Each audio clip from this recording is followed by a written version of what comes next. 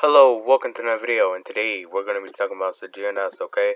So, with every single day, every single day that passes by, it appears that there's more news from Serginho Dest going to Bayern Munich, okay?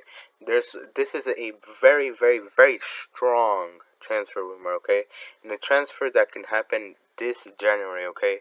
Look, at there has been many news sources that Xavi plans to offload many players like Frenkie De Jong. Um, I I think it was Frenkie De Jong. I think it was. He as well said about I believe so Mingueza as well. He said that he wanted to load him out uh, load, load him out of Barcelona as well. And uh, who else was there? Uh, I think that was about it. Or Luuk De Jong. I believe they talk about Luuk De Jong as well. So obviously, Bar- Xavi is planning to sell a lot of players, and and, and in that group of players, he has well discussed about Sergio Dest. Okay, a very good attacking fullback, and that plays for the USMNT. Okay. So obviously, um, today we're going to be discussing about what could a move to Bayern Munich mean for Sergio Dest. Okay, what could this move mean for Sergio Dest? Okay, let's begin, and we will be going on to the video right now. So, a new start, okay. So, Bayern offers a new start, a fresh new start to Serginho Dest, okay. Look at, if we really want to look at the, at the big picture here, look at, it's simple. Xavi does not want Serginho Dest um, at the Camp Nou no more, okay. And with the groin injury and with Obviously, I believe that Sergio Dest won't have the enough time to prove himself that he should stay in Barcelona. I believe the move will happen this January, okay? So, obviously, this move means a new start for Sergio Dest, okay? Obviously, Barcelona are right now in shambles, okay? Sergio Dest, um, in my opinion, and in many Barcelona fans' opinions, started off the season really good, okay? Because he played more as a right back I mean, and he did play out of position. He was played as a right winger, okay? And when he was at the right winger position, he was playing amazing, okay? Although he was out of position, he was playing really good, okay? And uh, then um he gets injured, and then Xavi gets in, and uh, yep, you guys know the story. Sergio Ramos returns from injury. Then Xavi is unimpressed with him, and then he wants to uh, wants to transfer him away from Barcelona for no apparent reasons, okay? Look at Sergio Ramos returns from an injury, okay? Sergio Roberto is a player that has been, which is the other right back for Barcelona, is a very poor player, okay? Piss poor this season. And what type of excuse does he have, okay? So obviously, Sergio Ramos, obviously, um, for no apparent reason, is not wanted by Xavi, and obviously this offers um, him a new start, okay? If you look at the background, this is Leroy Sané, okay? A player that has been getting, that player that was very injury prone with Man City, okay? He was very, very, very injury prone, okay? He was apparently not wanted by Pep Guardiola. Transfers back, transfers back to Germany for um to Bayern Munich, okay? And then he balls out, okay? Obviously, he's not he he sometimes appears that um he's no longer the same physical dominating player that he is, but his skill level has gotten significantly higher now that he's in Bayern Munich, okay? So obviously, that is one difference, okay? And obviously, the, this is a prime reason why this could be a good move for Sergio Nas, okay? And hopefully with the music, I won't get copyrighted, okay? So yeah. So what is the next thing, okay?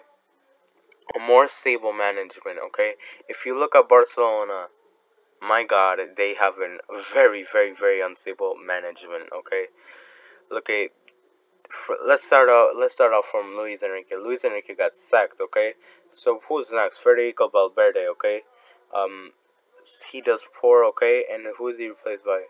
I think he was replaced by Bosque. I think it he was.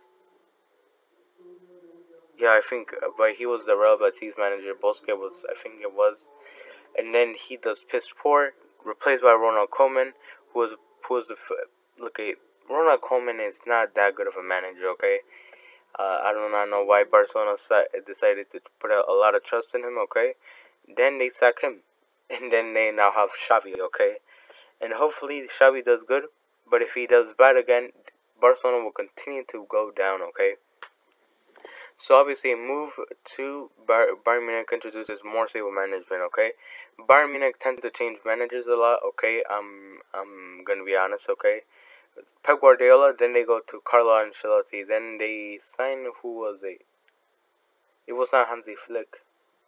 No, it was this old old guy. I it was him. Okay, he he does a good job, but then he retires. Um, then they sign uh Nubel, I believe.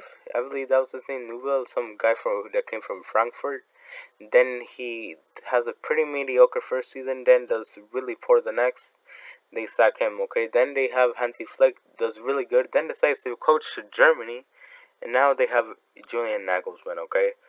Obviously, Bayern as well are pretty unstable, but not unstable, not as unstable as Barcelona. Okay, Barcelona are in depths. They are an outdated club. Okay, and they are in shambles. Okay, so obviously Bayern Munich's uh, situation, which they are economically thriving right now at the moment. Okay, in this pandemic. Okay, they are a really good financially smart team. Okay, and obviously, th this can mean many things for Gironas if he decides, okay? Because he will be getting better management from better managers and from better coaches, okay? So, yeah. Next is great development in his game, okay? Look at just look at the background of this picture, okay? This is Alphonso Davies, the Canadian, okay? Look, if you look at pictures from Sir Alphonso Davies while training in his Vancouver Whitecaps, you can see that a boy just be it just became into a man if you look at this picture right here right now. Okay? Alphonso Davies has become more significantly more muscular okay? If you look at Bayern Munich and their players they are pretty muscular if you fucking ask me okay? Players like Leon Goretzka players like Alphonso Davies obviously. Manuel Neuer is a fucking beast okay still at his age, okay, it's pretty fucking impressive. Robert Lewandowski is as well pretty fucking muscular, okay. So obviously many Bayern Munich players are fucking muscular, and Sergio Dest, that might just imagine Sergio Dest, but actually muscular, okay. I would just like to see that, okay. yes. Okay, and this is just in case if he does not get enough playing time. If he is loaned out, he'll be actually be having good loans, okay. Okay, there are clubs like Chelsea that loan a bunch of players out, okay? And some work and some do not, okay? But with Bayern Munich, I believe they are a smarter club when it comes to loaning out players, okay? So players like uh, Chris Richards right now, who is playing really good right now at of Hoffenheim, okay? He had a really good playing three game playing since, okay? He he he's still a little consistent, but he's getting more consistent, okay? Serge Gnabry, another another example. I know he's at Bayern right now, but still, when he when he wasn't expected to get enough playing time with Bayern Munich, what did they decide to do? Loan him out to Hoffenheim, okay?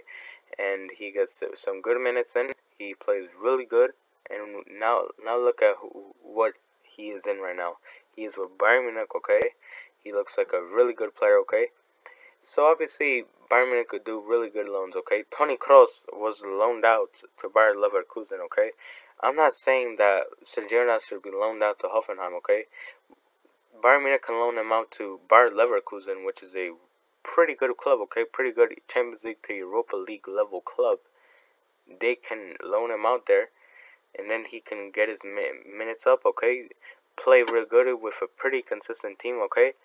Then go back to Bayern Munich and like you can see a future Bayern Munich um, really good right back, okay? So obviously, yeah.